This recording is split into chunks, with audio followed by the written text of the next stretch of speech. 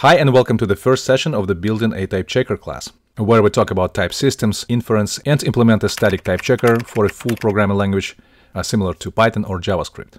And similar to other classes in the From Scratch series, uh, this class is also very practical. Right, we will have just few amount of theory uh, related to types. Uh, however, most of the videos will be actual practical exercises. Right, so here's the agenda. And the first thing we need to say, there is an optional prerequisite for this class. And this is the essentials of interpretation class, uh, where we build an interpreter for a programming language, right, at very high level, at the AST level. And unless you're familiar with concepts such as uh, abstract syntax trees, uh, how eval works, what is uh, closure, scope chain, identifier resolution, etc., it is highly recommended to take this course. Since in the current class, in the built-in type checker, uh, we will be working with pretty much similar language, right? It's called EVA, as we will see shortly. Uh, and we will implement a type checker module um, which can sit on top of the interpreter. So with this being said, let's get started. In the previous classes, we mentioned that we distinguish languages on interpreted and compiled. And rather, these are not languages, but the implementations. Uh, and let's quickly recall the AST interpreter and see how we got to the evaluation. So here's the typical pipeline for the parsing. Right, we start with the source code. Let's say the simplest program, print hello. And the first module which meets our program is known as the tokenizer. That is the uh, scanner which defines the lexical analysis. And the purpose of the tokenizer is to group individual characters into stream of tokens. Right, as you can see, a token has a type and some value associated with this type. In this case, we have two tokens, identifier with the value print and the string with the value hello. Uh, again, the purpose is just more convenient handling instead of uh, single characters. And then the stream of tokens is passed uh, to the next module, which is called parser, which already defines the syntactic analysis. What is the difference? Well, the parser actually validates uh, whether our program is syntactically valid.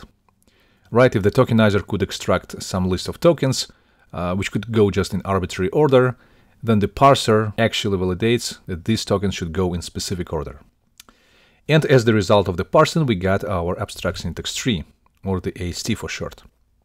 Now this representation is already something we can feed uh, further either to the code generator and produce some next intermediate representation, usually bytecode um, or the native machine code, uh, or we can pass directly to the interpreter.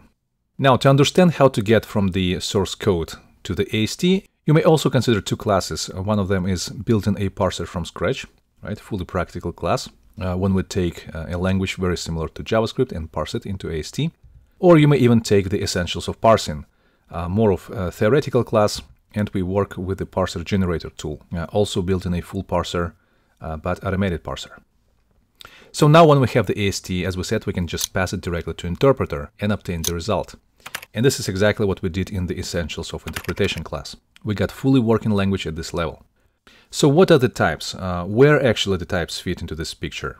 And in this class, we'll be talking about the static type checker. That is, the type checker module works at static time. Uh, to recall and reiterate, the static time is something before runtime, right? We haven't started executing the program yet, right? We work purely with the source text, right? With the AST representation, but it's still the source text. There is no actual uh, values, right? So runtime is not even involved at this stage. And as the result, we get uh, some transformed, or as we call type checked AST. Uh, right after this module, we can be sure that all the values, or at least most of the values, have passed the sanity check, the type checking, and we can guarantee, for example, that in operation uh, 1 plus 2, 1 and 2 are actual numbers, but not uh, booleans or strings. And then we can pass the same uh, AST down to interpreter and obtain the result. We said the same AST, but it's actually not the same AST it already has some type information, uh, which the interpreter or the code generator can uh, leverage to generate more efficient bytecode, uh, to do faster evaluation, etc. And so this is the picture of the interpreter with an optional type checker. And we call it optional because it's really the type checker can be implemented as the extra module for even existed programming language. Um, as an example, TypeScript to JavaScript, right? It was uh, some type information added on top of that, or flow type checker for the JavaScript. Very similar situation. And from this perspective, we separate type checkers on static and dynamic. Uh, as we said, the static type checker works with the source text, right? Only with the AST, uh, and it doesn't have access to the runtime. And so many uh, dynamic programming languages have dynamic type checker, What this means, they just check some of the arguments for functions or some uh, operations at runtime right before doing that operation. Uh, what the problem with that? Well, uh, of course, it's performance, since you have to do extra work at runtime. Instead of running useful code, you run some uh, infrastructure code, validating types, etc. So it's always good to have an extra static type checker. Now, we should also say a language which uh, leverages the static type checker may optimize uh, data storage for runtime. Right? We say may optimize, but it's not required. Example might be C++, which works with raw values, right? They represent it as is without any extra information, uh, which might also be a problem. For example, in C or C++, um, if we reinterpret some bit pattern, we cannot say whether it's a number or um, an address, like a memory address, a pointer. And if you have the dynamic language, uh, similar as we did in uh, EVA virtual machine implementation, a value is usually represented as a structure containing the type tag plus the actual value. And in that case, you may easily um, differentiate numbers from addresses. So once again, the static type checker doesn't mean you always have some uh, optimized data storage, but you may. Uh, when talking about types, we also talk about strong typing and weak typing. And this is something, uh, there's no common agreement uh, what specifically that means. Usually this means some stricter rules and some weaker rules on type semantics. Uh, usually relates it to converting some type implicitly uh, at runtime.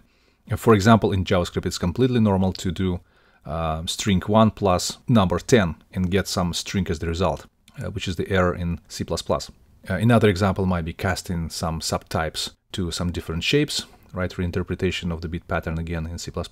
Right, so when implementing type checker, we usually want to have more stricter rules. And it should be a balance. Sometimes uh, to enforce more stricter rules, you have to reduce some of the code convenience, right? Do more type annotations, etc. Now, with this respect, we also differentiate type systems on the sound and unsound. Usually that means that runtime gets some guarantees from the type checker that everything will be okay when the runtime will be executing. And on practice, this usually relates to type safety and memory safety. Let's take a look at this example in C. So we define a, an integer x and then the string character array. But then we can define the pointer z uh, and just do some operation x plus y.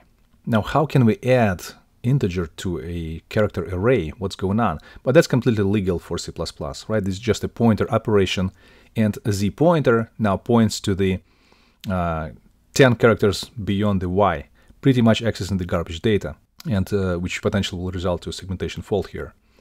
Uh, which means uh, C is neither type safe nor memory safe, even though still having static type checker. And we should also say that the type systems are covered by the type theory. And in type theory, uh, we do have concept of the type judgment. What this means, let's take a look. Uh, so here we have this symbol uh, turnstile, which literally we can read as it follows that or it proves that.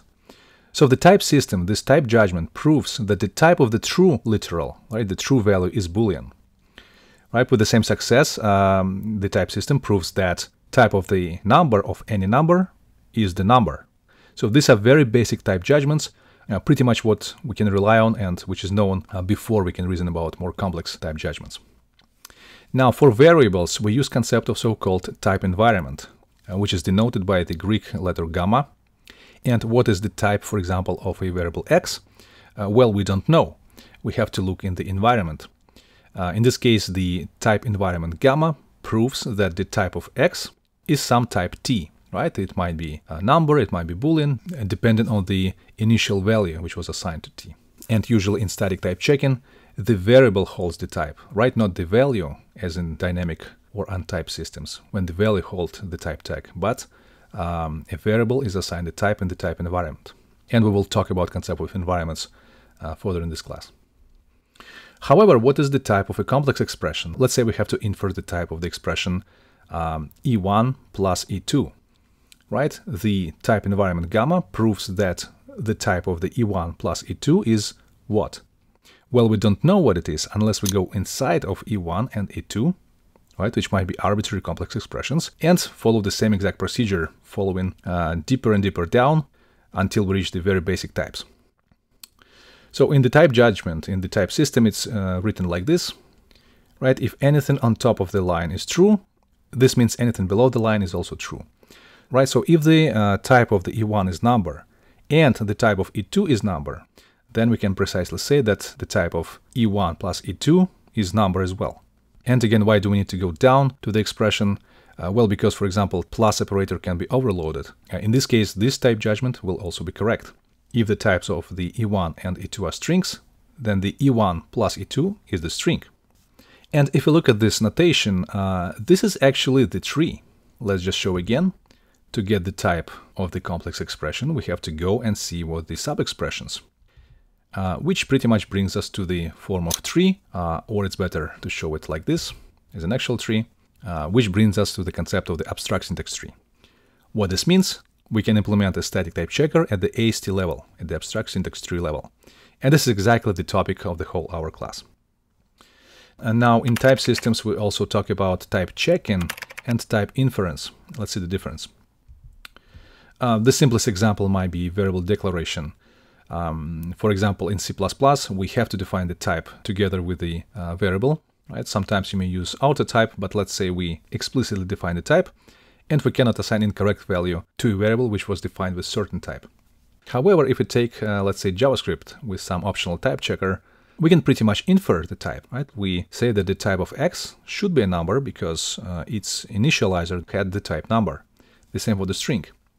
However, once we annotate a variable declaration with the type, this is where this inference will be followed by type checking. And in this class, we'll be combining type inference and type checking. Right, we will not be requiring specific types of variables because we can normally infer the type, uh, but we will hold types for the uh, function signatures, right, for parameters and return values. Another example of inference might be working with some generic functions. Uh, let's say we have a generic function add, which parameterizes some type k, and we can call this function passing the specific type. Right? These are generic functions in Java or template functions in C++, uh, but we can normally infer that type through the parameters, right, through the parameter values. And uh, in first case, we pretty much have the explicit polymorphism. In the second case, we have inferred types or implicit polymorphism. Now, some languages may even implement full type inference. Um, examples ML uh, might be Erlang and others. Uh, so in fact, we may even omit type annotations for everything, and still the type checker can understand all the types. Now, we will not be using this approach in this class, uh, since we agreed we need to have some type annotations for function um, signatures um, by multiple reasons. First of all, it improves the doc documentation, right? When people see the function signature, they pretty much understand what's going on without looking into the function body. So our purpose is not to take untyped programs, uh, but to take a typed program and provide some inference and some type checking, unified approach, which is usually used in practice for most of the languages today. However, if you're interested in the full type inference without annotating types, uh, there is so-called algorithm Hindley-Milner algorithm or HM. And just to briefly show you, it works with the concept of the constraints. So initially we don't know what the types uh, of the parameters x and y and what is the type of the function add, right? We don't know whether it's a function at all. Uh, so we initialize our environment with some type variables, let's say t1, t2, and t3. We don't know the types yet. And we say we have to apply a certain set of constraints to infer actual types. And then we go deeper. At some point, we have to reach some functions at runtime which should have type signature, right? So when we say about full type inference, this is not true. There should be already built-in operators which have specific types. In this case, that's the plus operator, uh, which should accept two numbers and return a number, from which we update the constraints that the t1 must be a number and t2 should be a number. And that's the return value, that is the type t3 should be a function which accepts two numbers and return a number. And exactly correct from which we can say that x is number, y is number, and add is a function. Uh, again, in our class, we'll be using the approach on the left. We pretty much will be specifying the types for parameters and return values, but will allow omitting the types for the variables. So this is the introduction for the theory, and with this being said, please meet Eva, or meet again. This is the programming language we work in this class, and since we focus on the AST type checker, we use S expression format, that is the parenthesized notation, where the first symbol is the type tag. For example, the first expression is addition, because its type tag is plus. Uh, this is the assignment, type tag set. And we also may have some complex expressions, for example, if, uh, which has sub-expressions for testing, consequent, and alternate part. Now another example is the function declaration. As you can see, we use the def keyword from Python. And in this case, it's untype expression. And here's how the function will look in our class. Right? We'll have to provide type information. And with this, each parameter is becoming a pair consisting of the parameter name and its type, and also will be providing the return type. Now we're also going to support uh, type declarations, aliases, and generic programming. Let's take a look. For example, we have the function add, which uh, adds numbers, but you also may reuse the same function for string concatenation. In this case, you have to redefine pretty much everything, just changing the types. Uh, this solution might be the union type, when you define a new type, which is either number or a string, right? And that's something we also going to support. Or you may even define a generic function, right, parameterized by the parameter k, which is the type. We don't know what type it is until the function call, but this is something we also support. Uh, for functional programming, we're going to support uh, lambda functions, so-called anonymous function expressions, and also immediately invoked lambda expression, where we can define a lambda and directly apply it to some arguments. Uh, again, typed version of this expression would look like this. Okay, so with this being said, let's jump to the implementation right away in the today's lecture. So I'm creating the directory for our project called EVA TC, and TC stands for type checker. Okay, and let's create a source evatc.js. And we should make a note about implementation. Sometimes people think that to implement a type checker, you certainly need to use some typed language, say as OCaml or at least TypeScript. So something is very related to uh, typing itself. But actually no, as we will see in this class, you may use plain JavaScript even without types to implement a static type checker. Right, again, the purpose of this implementation is not to be used in a specific language, uh, but to show the most concise uh, implementation, not distracting from the type theory itself. So this code should be portable to any language of your choice, right, to Rust, uh, OCaml, etc. And we represent the type checker as a class, where the main API method is the TC, that is type check. Now, as we said, we're going to use combined approach. Now, this function tc actually infers the type of expression. And while it infers the type of an expression, it does the type checking. And today, let's start from the very basic expression, from numbers. So if we determine that the expression is number, we return the number as its type. Again, the tc function should return the type of the expression. Right? Sometimes this function is called type of, for example, in JavaScript, um, and in addition, we'll be doing some type checking here. And in today's lecture, we'll just use string representation, just number, and later we'll introduce uh, an actual type system. Now, how do we know that the expression is uh, a number? Well, we implement it in JavaScript, right? So the actual type of, of the expression in the implementation language, in the underlying language, should be a number. Right? In that case, we return that the EVA type for this expression is also a number. And that should be pretty good enough for the first case. Let's start from testing. I'm creating tests and main uh, runner, tests run.js. Uh, I'm creating an instance of the type checker. And let's do the first assertion.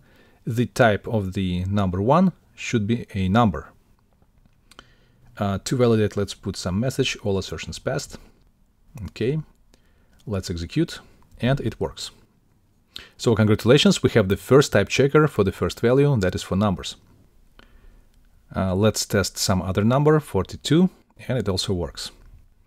And from this point we can go forward and support, uh, let's say, strings. Uh, we're going to represent strings uh, in double quotes, so 42 string should have the type string. Let's try executing, and our type checker correctly says unknown type string, so we have to implement it.